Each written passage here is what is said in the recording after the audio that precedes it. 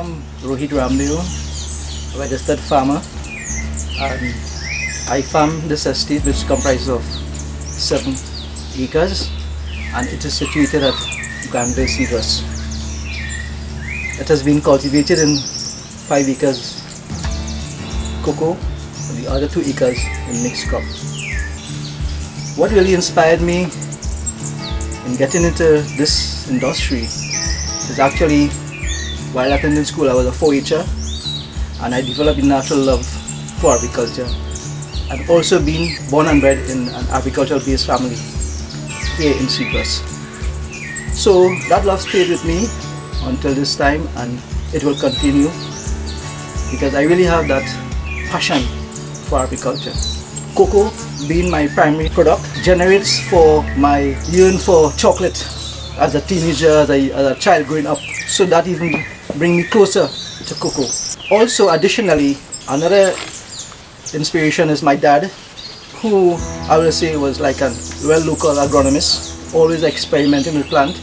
And he brought one cocoa plant from another field in Cedros. And when I saw it produce the first sort of production I, I, I can remember almost 20 pods. And uh, that inspired me and I said listen I'm going to do something. I'm going to start and I was gainfully employed. Time was one of the constraints that I couldn't get fully involved into it.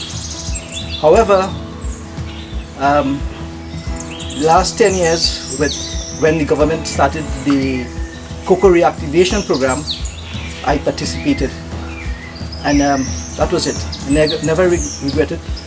Um, I started my first official plantation with 1000 plants in 2007 and subsequently every year uh, I add a couple of 500 and next 500 until I amass about 3000 plants being planted at a spacing of 7 feet apart.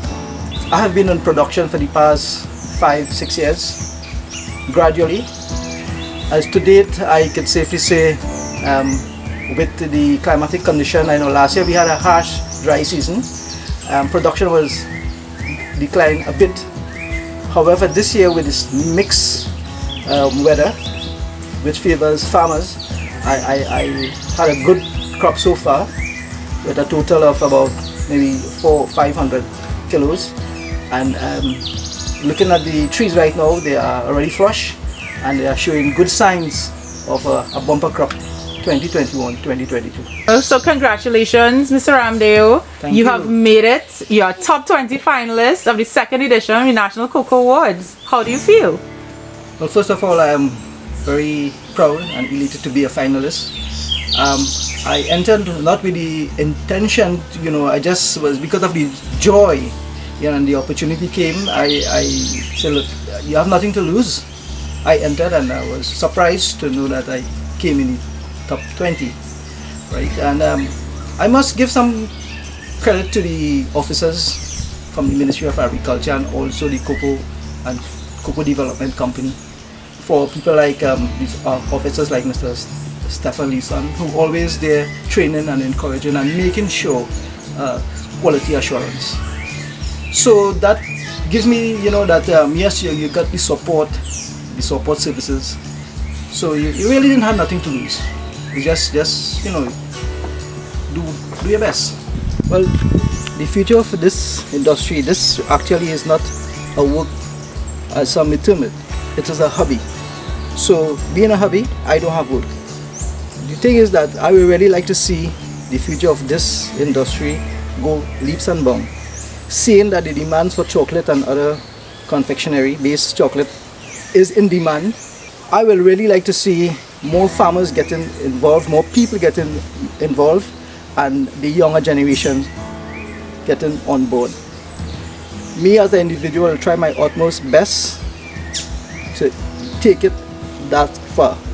I mean, we are in a pandemic, and I would like to see that the government play a more integral part in the development of uh, of the cope of the industry, meaning that we have more um, the processing of subsidies, and in that aspect, and also um, field officers visiting the, the farmers um, more. I know some of them are real hard work and um, well pressed, but they help us a lot. The officers, and I am, you know, especially from the Cocoa Development uh, Company, um, they are one-on-one with us, and we partnering together, working together. I think there's great future for this industry. Additionally, I would like to extend, um, you know, um, say thank you for the support of my family, especially my spouse, who um, sometimes when there's a demand for labor, uh, she will come in and, and assist with um, removing the beans from the pot. So all in all, I want to thank my family, I want to thank the officers, and of course, thank God for giving me the health and strength, and of course, such wonderful fertile land and beautiful weather conditions. Thank you all.